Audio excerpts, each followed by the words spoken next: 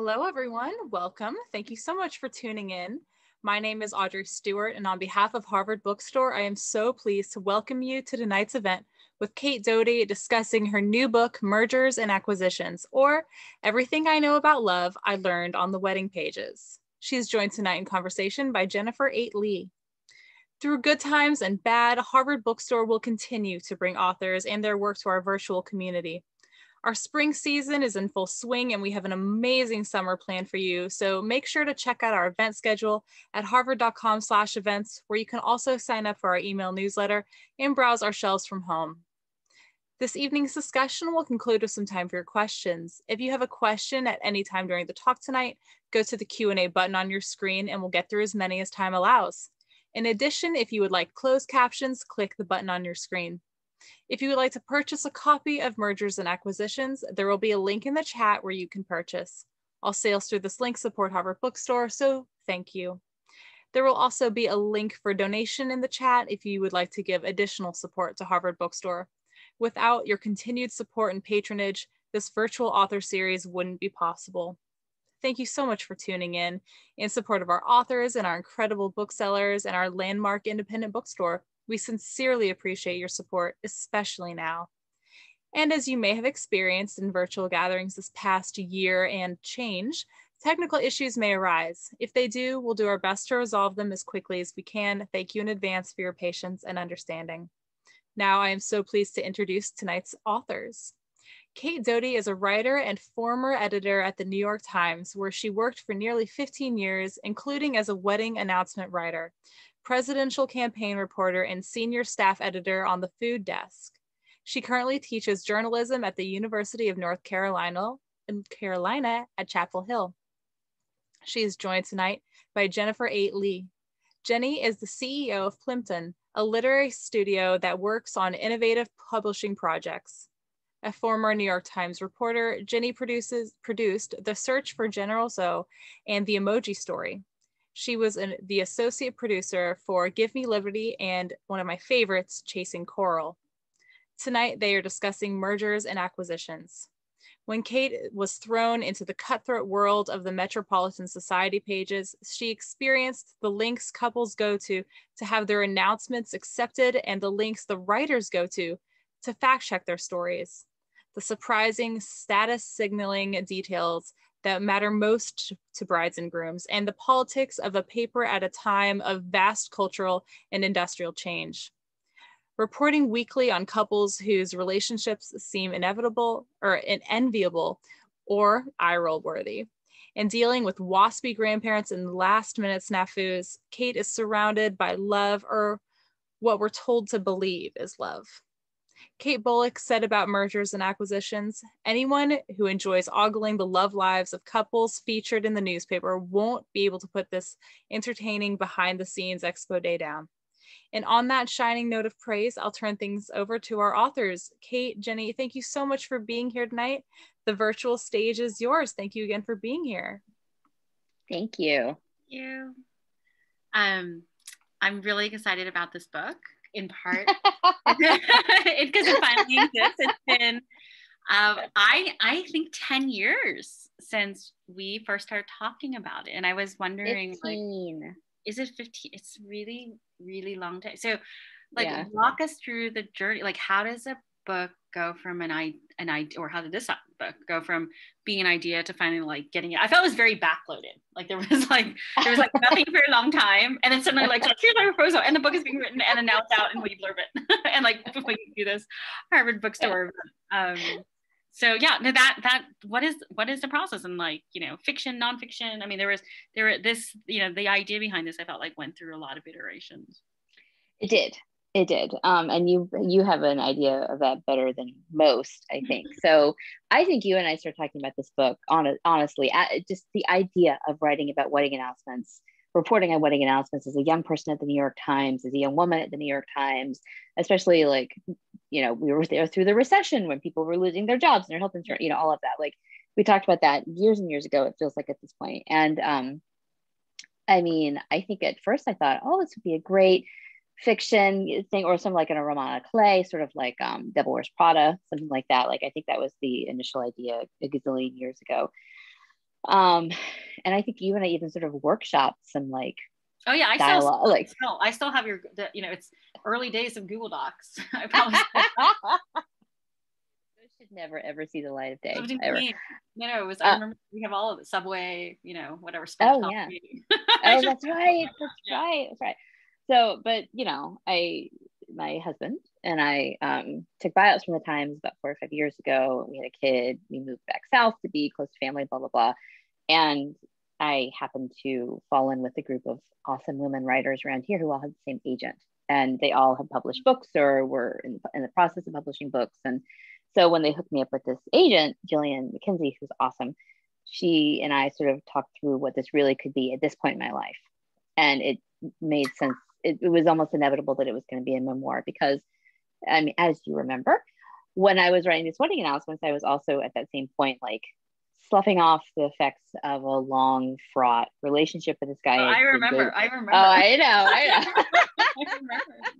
um, and and and also like you know moving on from that and also like meeting and dating the man who would eventually become my husband um so and and to me those two experiences or those several experiences along with like coming of age in new york as a young woman all- that stuff feel incredibly intertwined you know they're, they're just vines wrapping around each other so that's what happened that's how it became a memoir and also i'm not a sociologist like I, i'm not gonna like write some like sociological text about like the meaning of marriage. I'm not Stephanie Coontz. You know, she is um, smarter than I am. So here we are. So now we have a memoir. I remember, you know, when we went through the fiction thing was so long ago, and it was about being like young in 20s and like, you know, a Mhm. writer in New York City. And I remember when Girls came out as a television show, Yeah. um, I was like, Mhm. oh, she's, you know, Lena Dunham has done it. yeah, like oh, we missed that boat. Uh, but but there but there is like I mean not a lot of this didn't make it into the book, but there were so many aspects of life back back then in the the early aughts or whatever, like you know, going to Planned Parenthood and getting your birth control, or because like no one had health insurance, and like or I dealing with like remember- I all of that yeah. stuff, you know? So that's very much part of like the way I lived and like the way you lived to a certain extent. And, um, you know, but I think we felt like girls of captured a lot of that too. So instead, we have a memoir called Mergers and Acquisitions. Anyway. um, but from my from what I understand, this also may arrive maybe on a screen in some time in the nearish, maybe not near future, but it's on its way to the screen. And I was wondering if you could, what you're allowed to say, if anything, about that. I don't I don't know that I'm actually allowed. Oh, okay. Well, that is fine. So one day this may this Is is? I would say something like this is very charming, obviously, for the screen, and it may actually end up on the screen.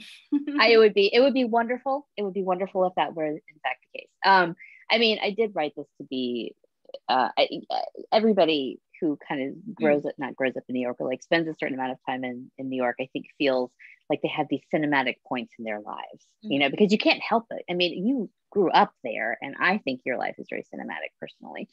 But um, anyway, uh, but you know, like uh, in our our first kiss was on the steps of the New York Public Library, and you know, uh, we like you know spent birthdays like riding helicopters around the harbor. I mean, all of that stuff sort of it feels cinematic because we've already seen it all on screen, just maybe not in this way. And then I only So- learned after the fact in reading your your uh, word doc that I was there earlier in the night, right? I think it's the same night where you had your. Oh first- yeah, yeah, yeah, yeah, same night. Yeah, yeah, yeah. So for the people watching this who have not read the book, Jenny is a major character in the book because um, there used to be a Howard Johnson's in Times Square, and it disappeared probably what 10 years ago at this point. But it was a great place to go get ice cream. And on the night that my now husband and I kissed for the first time, um, we hung out with Hojo's with you and Someone random. I don't even know. some dude. I don't know who it was. Um, All right. Yeah. I don't know. I don't know. like that person was like falling away. Yeah. I remember was- hosting. I remember you. some friend and but like we're sitting on these old Naugahyde booths, you know, and and Michael and I were sitting on one side and our hands are down on the, the bench and he like reached over and and started holding my hand under the table. and it was so hot that night. I know, you know, I know mm-hmm. it was so mm-hmm. hot, and I just remember being like, "Oh, oh, oh this, is, this is happening now." And then like I remember I had this like pink short sleeve cashmere sweater on. What a stupid idea! A short sleeve cashmere sweater. Anyway, and I had this thing on, and the smallest jean size I'd ever worn in my life, um, or in my adult life. And I remember after we left you guys, we wandered over to the library in Bryant Park and we sat there and we kissed until five o'clock in the morning. and I got home and my mouth was all swollen. But anyway, yes. Um, and I learned a lot both from you and then from the book about the craziness of the wedding announcements in the New York Times, like the fact checking. Um, I think that was really what struck me. And I was wondering, uh, yeah, the sort of like the, the intense fact checking, and I'm I'm I'm just sort of like intensely curious that people try to lie in some of lie. Yeah. So like yeah, some lie. of the craziness, you know, like mm-hmm. you know, mm-hmm. whatever greatest hits of the craziness. I remember I think um was it like Broadway tickets or theater tickets? And I know some of the details are uh, both the people and everything have to be a little bit like fussed mm-hmm. fussed out because of um, yeah. the, the memoir and there's a legal department and all that.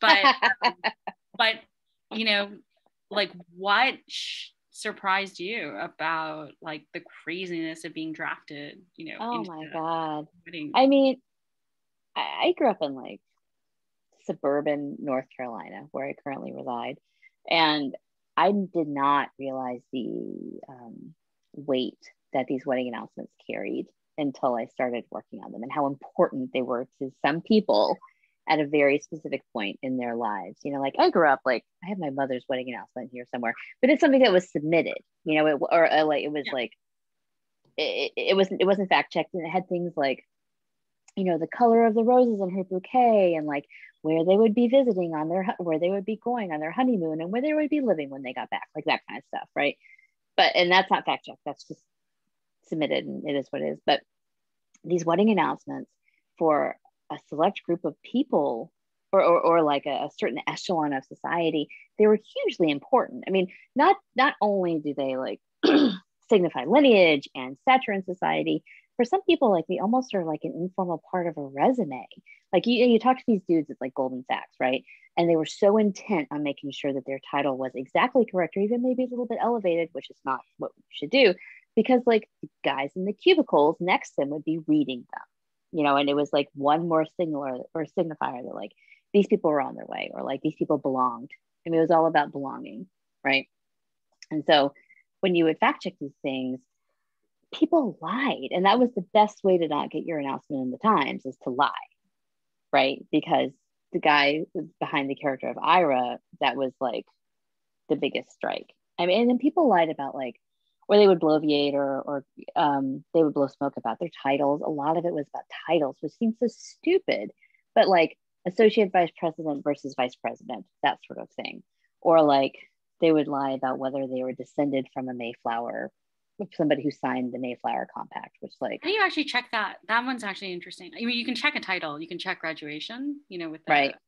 How do you check lineage? Um, well, you have to be according to the um, society desk, which I don't think it's called the society desk anymore, the wed- weddings desk, whatever it is. Um, at that point, when I was doing it, you had it was very weird. You had to have uh, proven your lineage to the Mayflower Society.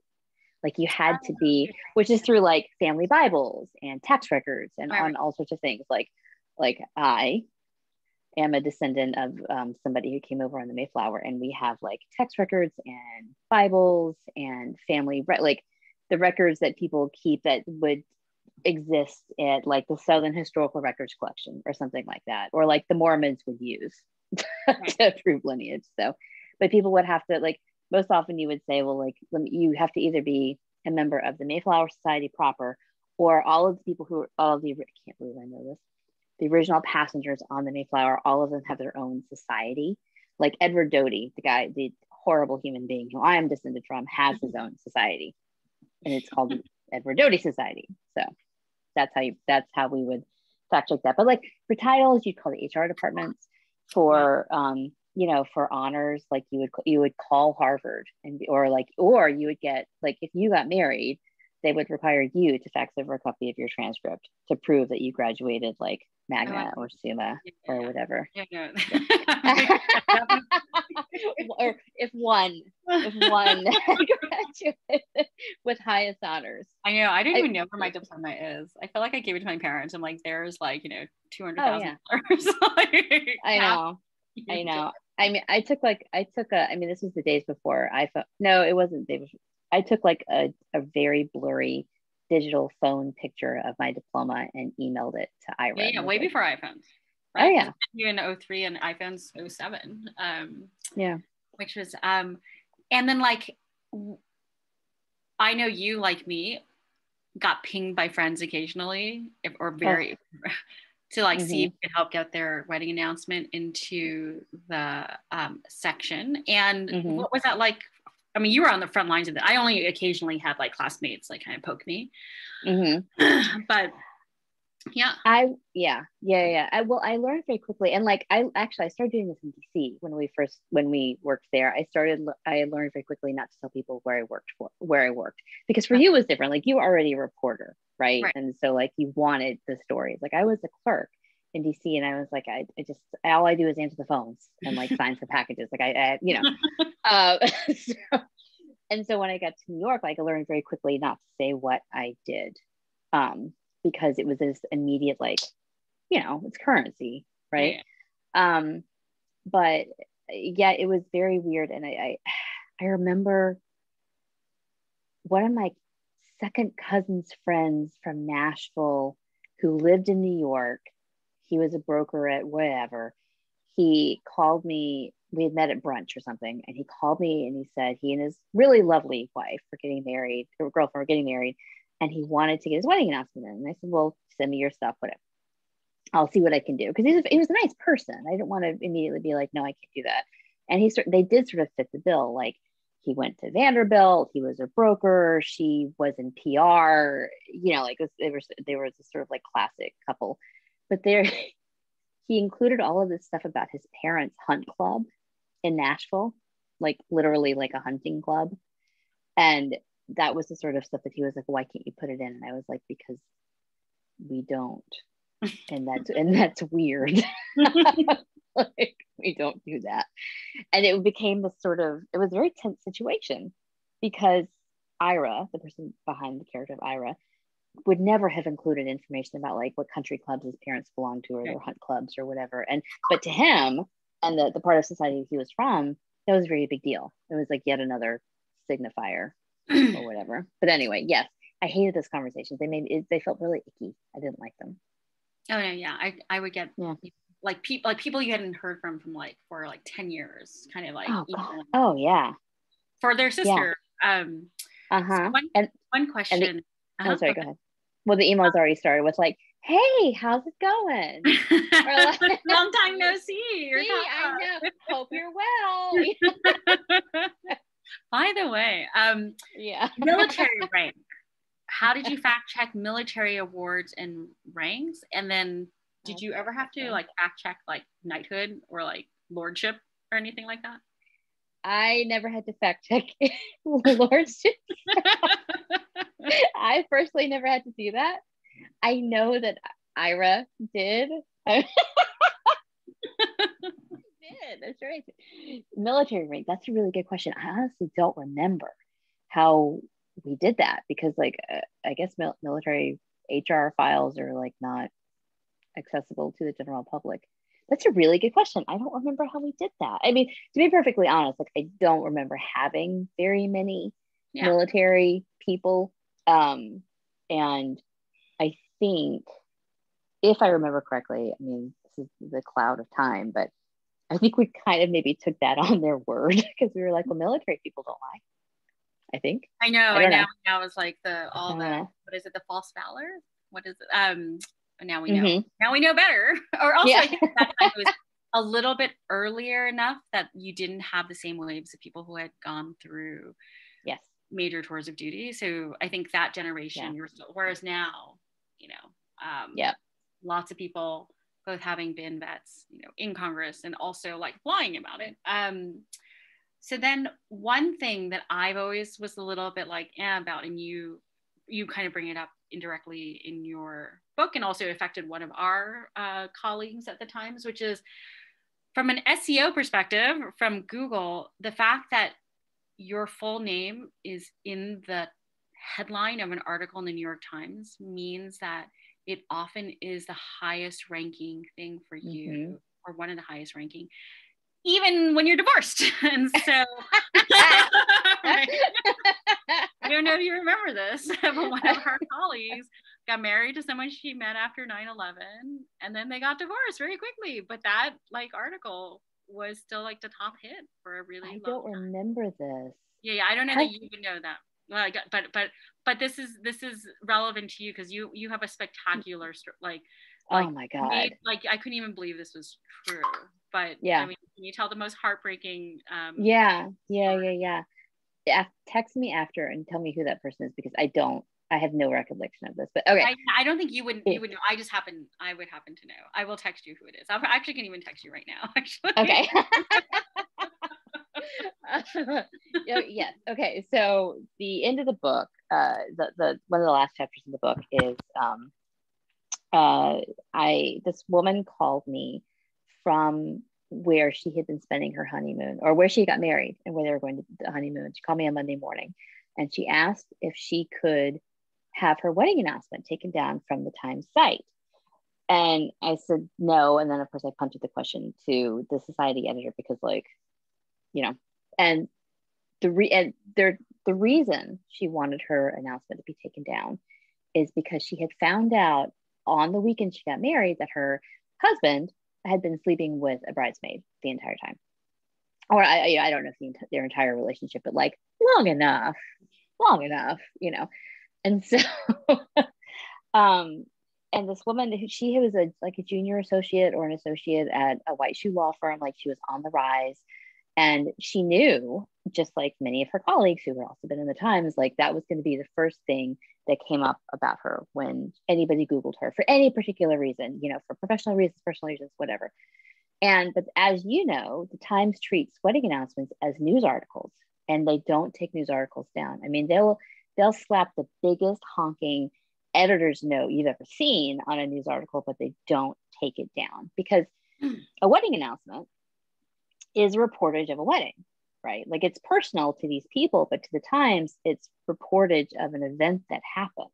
And so they're not going to take that down. And I remember getting really pissed or like really angry on behalf of this woman because I was like, what? and she went into she kind of went into detail about like how she now all the details of the book in the book are changed, of course, like how this actually went down. But um, but the crux of the matter is completely true. Like this after this 100% happened. And um, it's still up. It's up. I mean, like they got the, you know, they got annulled or whatever, and and she's remarried and and all of that. But yeah, I mean, up until this book, the first thing that you, that came up about me, obviously, was my wedding announcement. And had I never written this book, like that would probably be the first, the first thing that always came up about me. But my full name, my full name is not in the um, in the in the headline. It's just my my Cate is my nickname. It's not Mary Catherine, which is good. and a fun wedding. a fun wedding it was. It was a fun wedding. 2010 and kind of interesting so, so i mean we were just talking about this before um in mm-hmm. terms of weddings and appropriateness and feel dated. I mean, you can go into that or I can go into it. Oh, but, okay, no, go, yeah, go for it. No, go I'm kind of. so you got married on a plantation, mm-hmm. and as you know, um, you know, times have changed, and I actually respect a lot of um, the dating website. Uh, sorry, the the wedding websites for for no longer listing plantations mm-hmm. among wedding venues. Mm-hmm. Um, for you know many different reasons and i was just kind of wondering like if you look look back at the wedding like t- first of all tell us about the wedding like where it was held why it was held there um okay and then looking back having had a plantation a wedding what does it feel like in the year 2021 you oh know my god yeah uh well so we got married in April 2010. Um, and my parents at that point were living in the Shenandoah Valley. And we just, we were living in New York and we decided for logistical reasons among cost reasons, among other reasons, we would get married down there. And they, they live, um, they lived at that point near Charlottesville where there's Monticello, all these historical houses, right? And next to Monticello is a place called Ash Lawn-Highland, which is um, where oh god, I think it's Mad- James, uh, Monroe. James Monroe. James yeah, Monroe. It was, yeah, like another, it was like a second tier president. yes, yeah, yeah, right, right. That was like his country home or something like that. Yeah, yeah, yeah. and it was it it was and is still owned by the College of William and Mary. And we got married there because it I mean honestly, frankly, it was affordable. um it was a beautiful it remains a beautiful spot yeah and there are peacocks wandering around so like why would you not get married? And i do remember you had to walk through the gift shop to get to where we got married. That was it was that was a little odd. It felt a little bit i don't know skeezy but um it wasn't long it wasn't long after that when i started thinking about i mean even at that even like on our wedding day like we have pictures of ourselves taken in front of refurbished slave quarters right? Mm-hmm and you know, you can say, "Oh, educational purposes, all you want," but the fact of the matter was, like, this was for many years a working plantation, and um, the college, the William and Mary, is having to reckon with this. I think there was a story in the Times a couple of years ago about how um, student groups in William and Mary were like, "Hey guys, guess what they used to do?" You know, and, and they look at it as obviously it's a very complicated thing for them because they they love having this historical piece of property and they use it for research purposes. But also, yes, it was a working plantation for many years. And there's a lot of evidence that points to the fact that James, I mean, President James, James Monroe, which he was the third, fourth, fifth. Thank you, fifth. Okay, uh, who's very good at the order of presidents, by the way. Sewell Chan, our, our friend who's now LA Times editorial page editor. We played a game, which is like, can you name the presidents in order? Like I could have done it in third grade, and I I I, I couldn't. but I can go up to like Monroe, and there's like That's a bunch that I can do. kind of around like Lincoln, you know, and then like you know, and then there's the whole Cleveland, you know, Grover Cleveland had two that were separated. Uh, but anyway, yeah, Monroe was yeah, number yeah. five. that, that is not even remotely surprising me that Sewell could just like reel them off. Um, anyway, oh, Sewell. Uh, anyway, he was here in Bozeman with me. Do you know? Bo- he came up to Bozeman. It was his first visit too. Um, I wondered why he was in Montana. Yeah, because I'm here. Yeah. Oh, interesting. Because I saw. Okay, this is completely off topic, but yeah, I saw you've been posting on Instagram. Oh, yeah, yeah, yeah. Just, give him a big hug for me if you see him. I love Sewell. Um, he's like the loveliest. But anyway, okay. So back to the point. Um, so yes, it was not long after that that we, uh, I certainly started thinking maybe that wasn't the right thing to do. Maybe, or like, maybe we should have looked at it through a different, oh shit. Maybe we should have looked at it through a different lens, for example. But, um, you know, we can't take it back. Uh, so at this point, I, I, I have how would you explain it to your daughter then? Does that make sense at the point that she understands? Oh, totally. Oh, yeah, yeah. yeah. Well, I mean, we, we've talked about like, you know, we are very upfront about the fact, By the pardon, right? two or six. Yes, two or six. And we've talked about the fact that like, and it's, it's hard for her to, to understand, like we talked about slavery and enslavement and all of that. And like, she knows that she is descended directly from people who enslaved others. Like she, she knows that. And we've had that conversation. I mean, I think one day we'll take her there and show her around the spot and say like we got married here and on the same grounds where the enslavement that we have talked to you about was happening. And like i think that we just have to talk about the complicated legacy that she holds in her in her dna um, and i think we can also explain it as sometimes people don't make um, the best choices which is which sounds flip. And i don't mean it actually to sound flip but like um I hate the, the, the whole idea of being a product of his time is complete bullshit. It's bullshit. you know, I, I think that um, in some ways we should have known better. Um, but by the same token, like I don't know what to do about it now other than to like not let her get married on a plantation if I have the control for that. I don't I don't think I don't know if I'm talking very coherently about this, but like I don't I, like I have deep regret about it, but by the same token, I'm not sure how to reckon with it in a way that is helpful right. and forward looking right yeah yeah, no, yeah. I mean, you're talking about it and you're regret. Obviously, obviously, there's already been sort of reckoning within the industry, but it's continued. Yeah. To reckon. Um, and actually, one of them, I, I'm, I'm going to uh, share one of my most interesting kind of like, like kind of realizations um, mm-hmm. in the New York Times. So this is probably under house. This might have been like 2003, 2004. I think when we were hanging out in Washington, which is they started doing gay wedding announcements. And what was so interesting was I remember the first one I had a photo and it said, you know, like whatever. I don't mean it was like Mr. Jack Horner versus like, you know, Joe, whatever. And then they didn't mm-hmm. tell you which one was which in the oh, that's right. photo. Do you remember? Yes. Because with, with yes. the men and women, you you can kind of basically intuitively tell from their names. Like and then right. Um it suddenly it was just like this tiny moment for for me to that like, oh, we have to there are little tiny mm-hmm. adjustments that have to be made because now that we mm-hmm. have gay wedding announcements. But it was also surprising to me that no one caught it. That like I was, you know, I think I even might have written into someone to be like, oh, by the way, if you don't say who's who, you we don't we don't know because they're the same here. you have to say like left and right, and then they started doing it. But do you?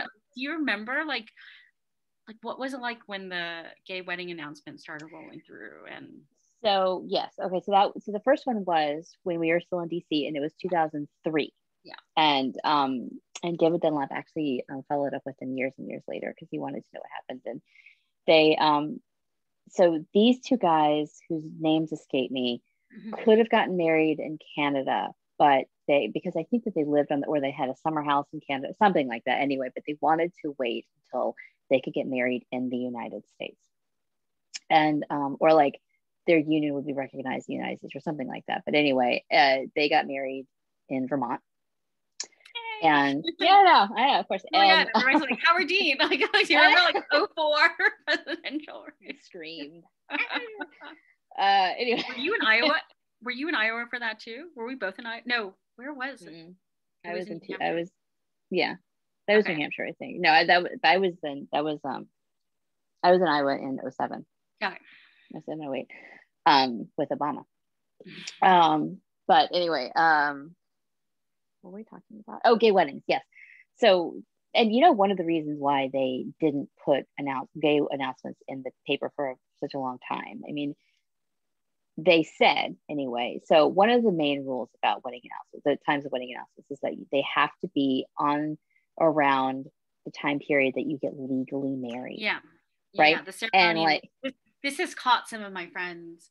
Yeah. Uh, in very weird ways. Yeah yeah yeah, yeah. and it, it can disappoint people because like you know they think and most people think that the binding ceremony is the one where you stand up in front of your family and friends whatever but like to the society pages the binding ceremony is the one in which is legally recorded with the state of new york or whatever and so one of the things that they said and remember this was a decision made like at the highest level you know like who, who was howell i think was the editor at the time whoever it was anyway it went all the way up to to art to um Sulzberger's.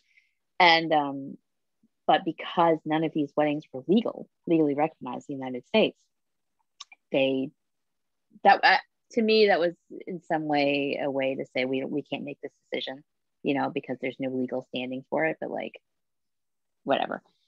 Um, I mean, so I started writing them in 2004, and one of the first weeks I had, I didn't have that many same-sex announcements, honestly.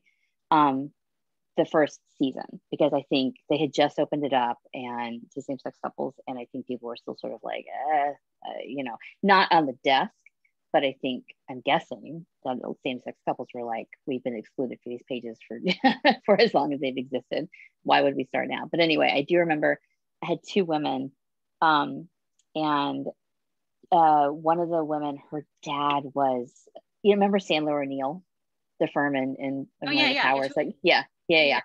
Like her dad was hit hit very yes, yeah. yes, hit very hard, very hard, like lost like hundreds of people.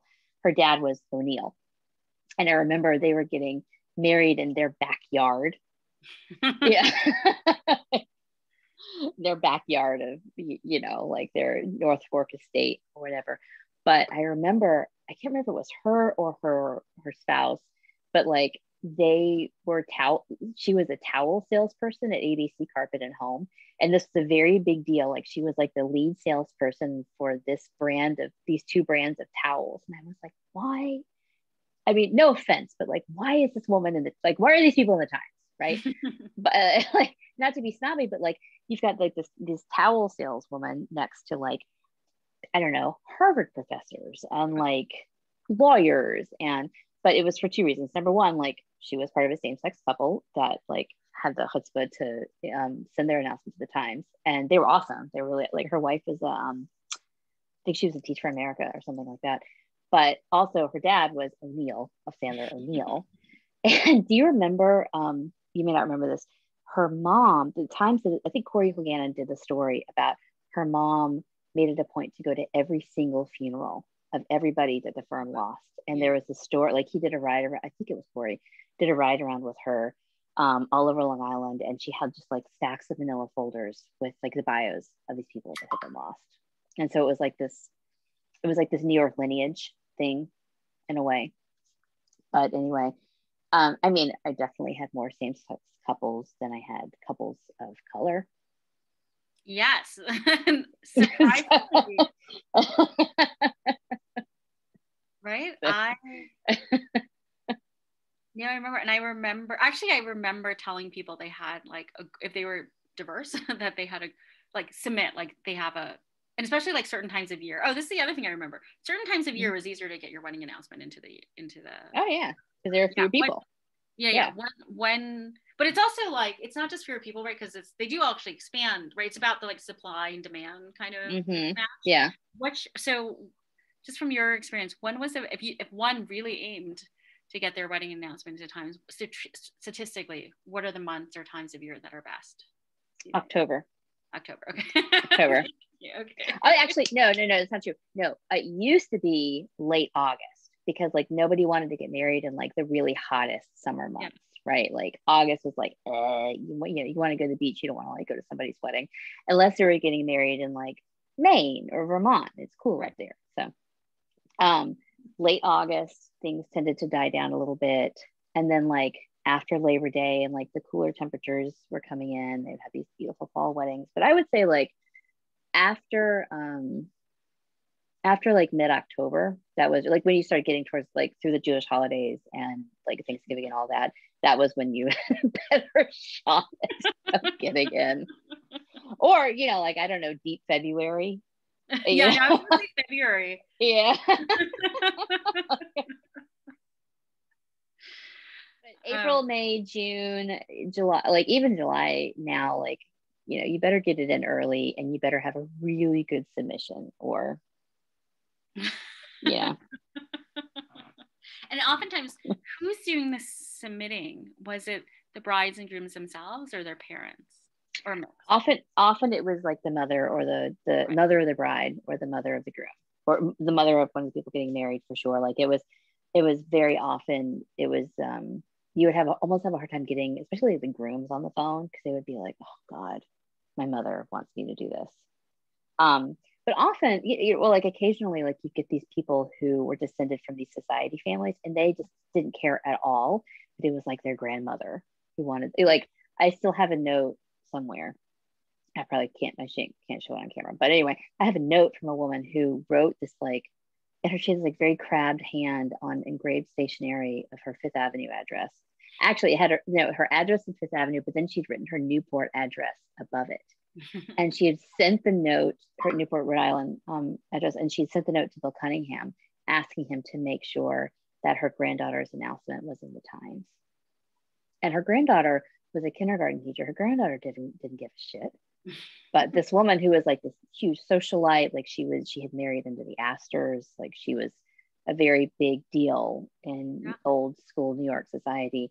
Like it was really, really important to her that her granddaughter, you know, making twenty six thousand dollars a year as a kindergarten teacher. It, again, like it, it, obviously salary has nothing to do with it, but like in the world of these wedding announcements, like economic status clearly is a huge factor. So anyway, yeah, I have it somewhere though. Um, and I mean, just from so, so one little thing was um, I, I will mention is um, Cate sent me the draft and then I recognized myself and I was like, I want my real name in it. I was like, That's right. I want to I want to be known that it's me. You're but like the only person in I know, there. I'm the only person in only it. Only friends I, anyway. She's yeah. like, I'm kind of curious when you and I've always been curious about this because I write straight up nonfiction. I don't do like kind of the memoir thing. Um yeah. What do you do? Like how do you maneuver like do you tell like one what do you do about the names? And then like the identifying details. And then do you tell mm-hmm. people like in who are like kind of more ambiently around?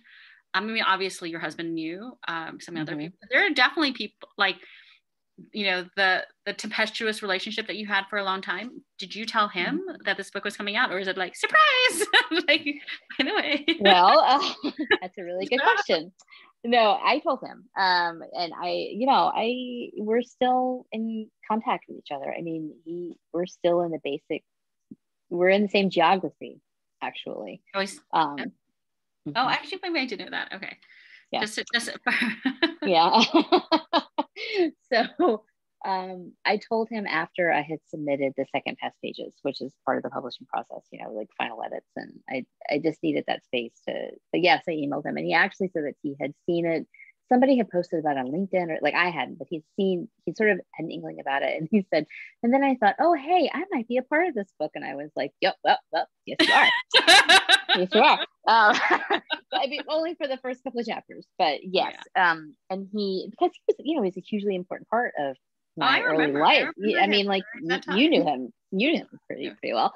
Um, and so one thing that he and I still have, have a continuing dialogue about is um, it came very occasionally is um, about how it was really important to me to protect him as a person, not just because, not just for legal reasons, um, but because I still care about him, you know, and like I care about his privacy and I don't want it uh, I don't want anybody in our community now to recognize him who wouldn't have rec- who didn't know him 20 years ago.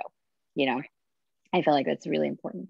Um, but one of the things that um, the legal team had me change was his ethnicity. Oh, I did notice that. Yep. yep. Yep. And that was a, that I think for, for many clear reasons bothered him. I mean, as it would, uh, yes, for yes, it bothered him immensely. And so we still talk about it, you know, and, and he asked me a question one day not too long ago about like, well, how often does this happen to white people? And I was like, that's a really good question. I don't know. I don't know. And like to a certain extent, it's probably a numbers game. To a certain extent, like he um his he's um he is known. Um and so yeah, yeah, yeah. After you know it was uh, also is like I, like maybe within the last year, this mysterious person emailed me about completely unrelated, asking me to be as part of this other meeting, and I was like, I know this name, and I was like thinking like, like how do I know this name? Yeah. And then I was like, oh my god, yeah, yeah. Guy. And yeah. then I like Google and I was like, oh, he's done a lot of interesting things. And like, you know, I yes, he has. yeah, I know. I have to I have to move this over because my phone is dying. I'm sorry to say this is very wildly unprofessional of me. But um yes, uh, he has done a lot of interesting stuff and he has is gaining um I wouldn't say notoriety, but fame in his own right for his own awesome, really cool work. And so uh, he but he still has a reasonable i mean in terms of like the expectation of privacy he really still has a pretty high expectation of privacy like so the the anecdote at the beginning of the book, the like senior senator of the great state of New York, like he has no expectation of privacy, right? And like every single thing I wrote about him, except for um, the conversations that we had, had been already had already been reported in like page six or the post or the Times. Like, you know, James Barron covered the press conference that he held when he announced like his new relationship. I mean, honestly. Right. Um, hold on, I need to get my phone quick. But so um yeah, it's all very okay. Sorry, this is super unprofessional of me. Sorry. You can also see my very messy office. Anyway, um, so but how it, okay, so I changed all the identifying details of people who um, have expectations of privacy, right? Like the character of Rebecca in the book, she's my my old roommate. Um, we're still very good friends, and I told her in advance like what was going to be in the book, and she thought it was all great and fine and hilarious, fine. Um, in terms of the couples themselves, um, mo- all of the couples, with the exception of maybe like one or two, I think have um, have made up names, like clever names, you know. Mm-hmm. Um, and I did that because you know when you're when you talk to these people for their wedding announcements, they weren't talking to me because they were going to be in my memoir 15 years later. They were talking to me because they wanted their wedding announcement paper. Mm-hmm. And most of these people, with the exception of like Sheryl Sandberg, for example, mm-hmm. um, have a very high expectation to private. You know, they like they they their their cases would hold up in court, is what I'm trying to say. So that's one reason why I changed them, and also like, well, I mean that's the main reason I don't want to get sued. I don't want to get sued, and and they they um they are private individuals and they should remain private individuals. And so. what what does the publishing house do to make it like to make that happen? If that makes sense. Oh, uh, well, in this day and age, you sit on Zoom for hours and hours and hours with the legal team from Penguin Random House, and they have gone through the manuscript and highlighted or flagged every single thing that they think would provide any sort of potential legal exposure and you just tweak it.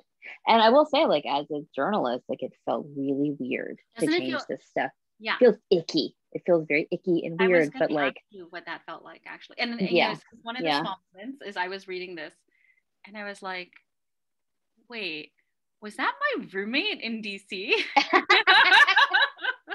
because i was like oh my god did she go out yeah. that's right i think she went out on a date with my one date. One date. One date.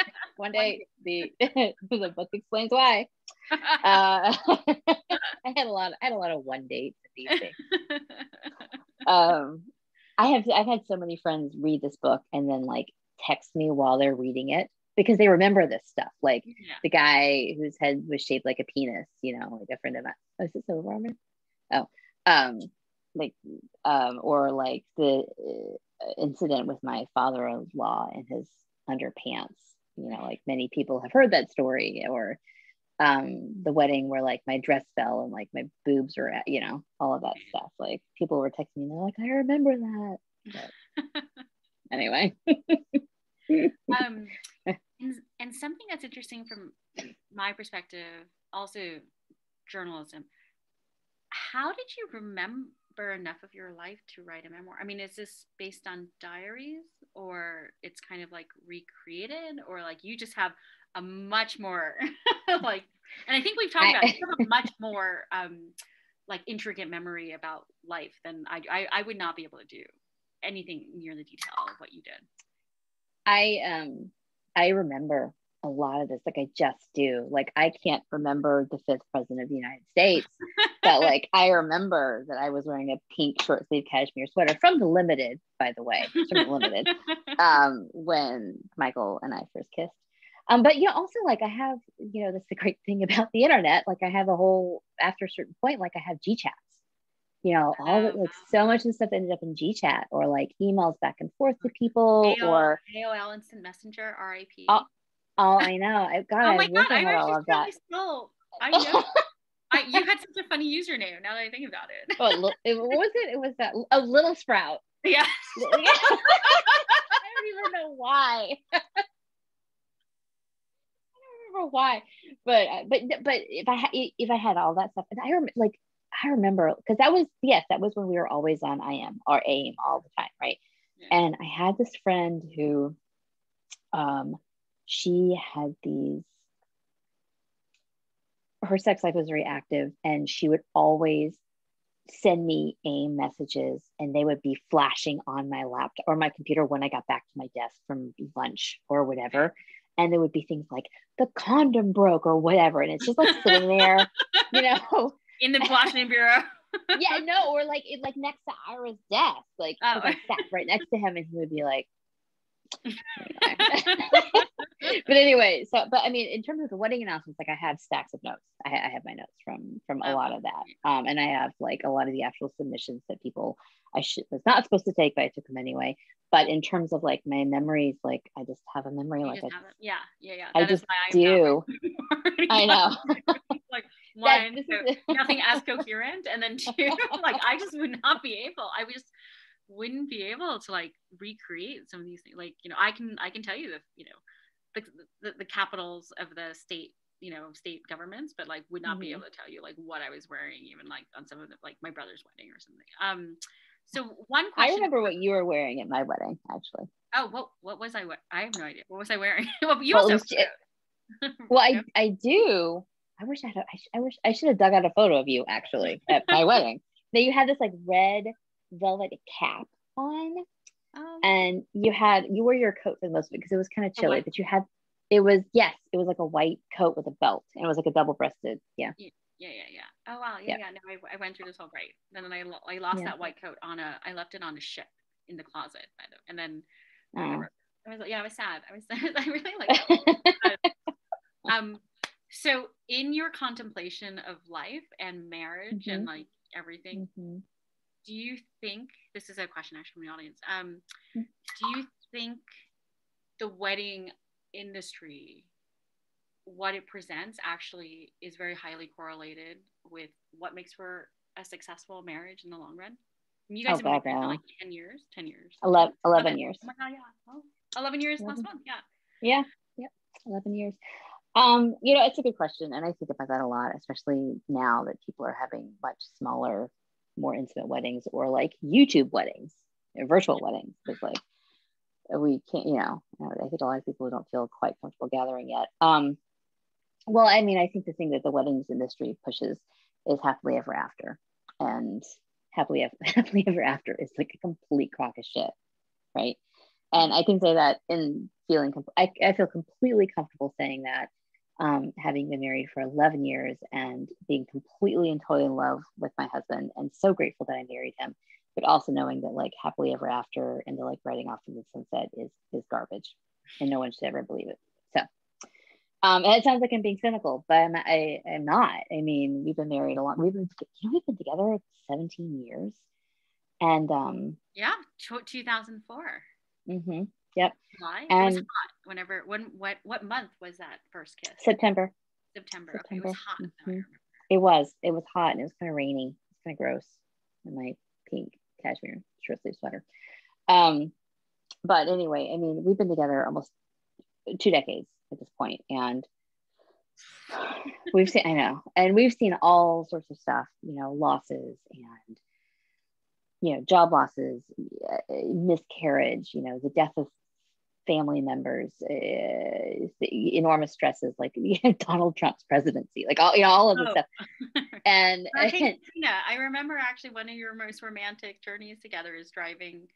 Didn't you drive? Oh, like, Katrina. together. yes, Hurricane yes. Katrina. Okay. yes, we had for to the drive. Yes, oh yes, we had to drive an RV from New Jersey to New Orleans. Yes, for that. Um, but anyway, so I- you know, I don't think any of that stuff qualifies as happily ever after. But I think maybe the definition of happily ever after needs to change. Right. Um, obviously, but in terms of like the weddings industry, the, yeah, I think the, the the messages they push are just so outdated. You know, I, like, did you see the story? You would have been all over the story had you been a reporter. The story about um, marriages between friends. Oh yeah, yeah, yeah, yeah, totally. Yeah, I, I yeah, story.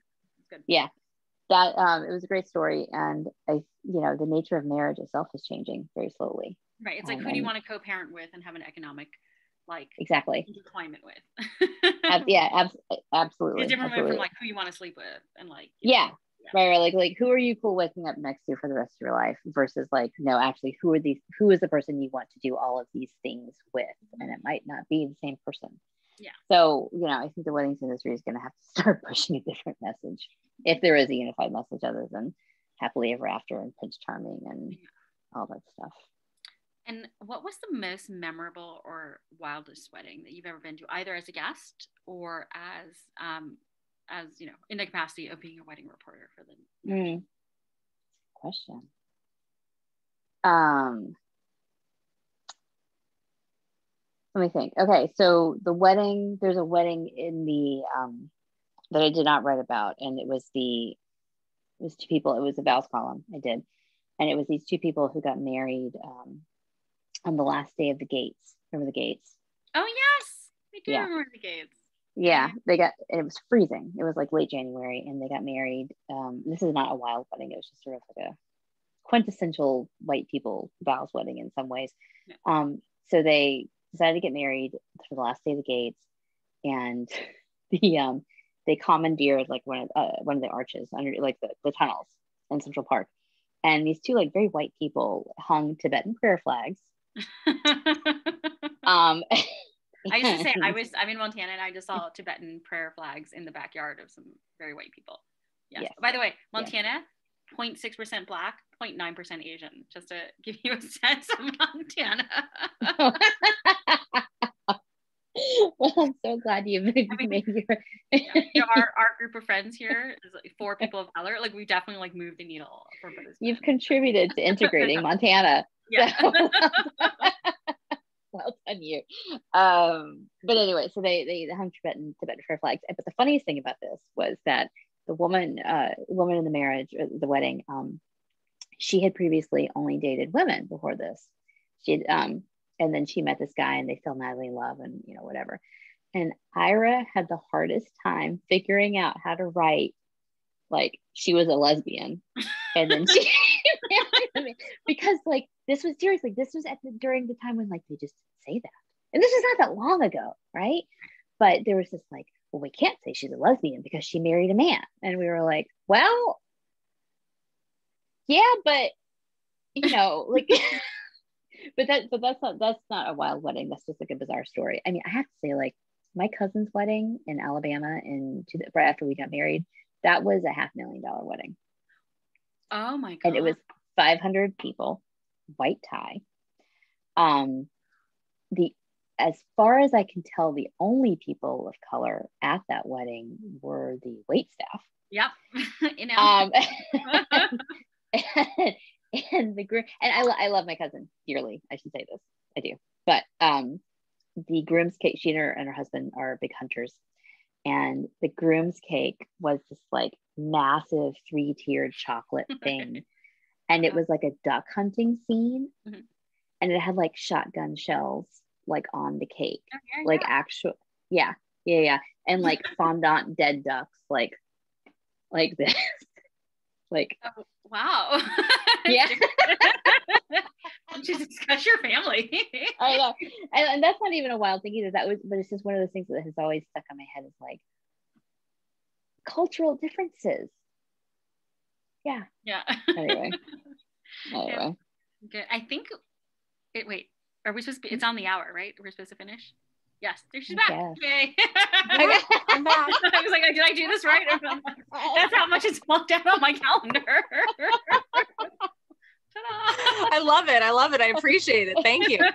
Um, sorry, I'm still just like stuck on the idea of like bullets on a wet like a wedding cake. I'm I'm trying to be professional, but I'm stuck on the idea of like fake fondant dead ducks. Anyway.